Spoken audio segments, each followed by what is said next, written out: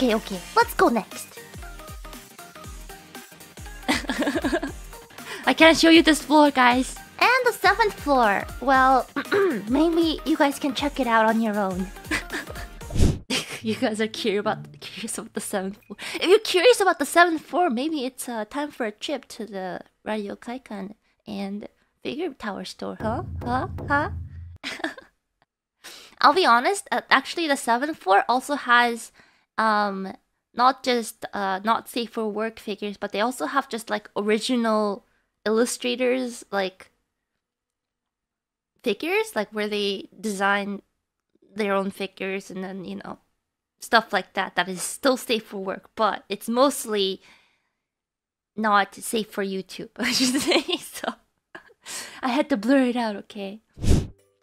Yeah, which part of the which part of the tour were you guys most interested in? I'm sure I'm sure like at least some of you have visited the Radio Kaikan store before, but the figure tower is relatively new. Like it opened after I left Japan after Fest this year, so seventh floor.